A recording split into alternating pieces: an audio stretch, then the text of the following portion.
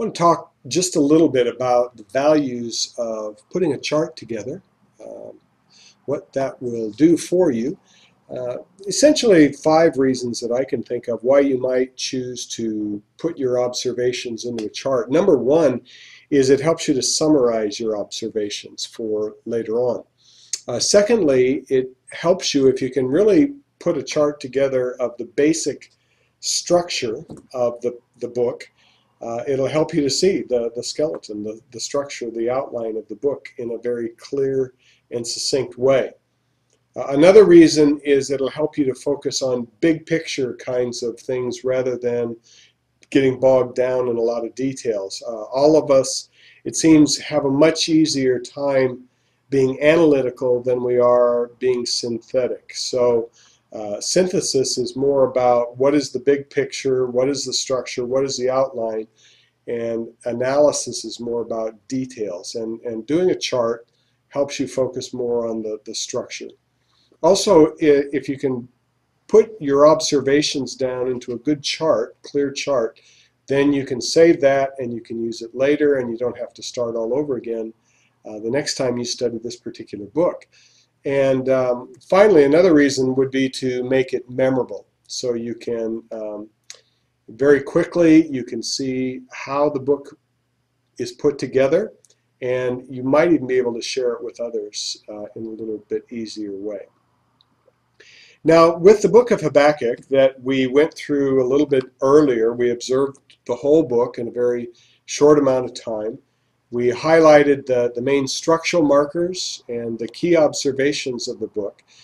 Now, how would we put that into a chart? Well, if I was doing it, I would probably start at the top of the, the page, the top of the chart, just by putting the book title there. Uh, and if I was making a chart and having cells and rows and things like that, I would probably leave a row underneath there, but I, I'd skip that for now and then I would try to reflect what is the biggest break in the book. And what we saw is that chapters 1 and 2 are a complete unit, and then chapter 3 is another unit. So in that particular row, I would, I would break it. I would have 1 1 through 220 making up one section, and then I would have chapter 3, so verses 1 to 19, making up the second major section of the book. And I would probably label that first section of the first row, which is chapters 1 and 2, an oracle, because that's how it was uh, headed at the very beginning of the book in 1 1. And then the second cell I would uh, highlight as just a prayer, because that's how it was uh, highlighted in 3 1 and then 319. Probably after that, I would uh, come down another row and I would put something like underneath the oracle, I would have something like God's instrument Babylon. And then underneath chapter 3, I would have something like response or confidence for a dark future. Uh, I would probably then in the next row highlight something about the interchange structure of the book, particularly in the first two chapters. So we'd have Habakkuk's lament in 1 2 through 4. We would have the Lord's response in 1 5 through 11. We would have Habakkuk's response in 1 12 through chapter 2, verse 1. And then we would have God's response in chapter 2, 2 through 20.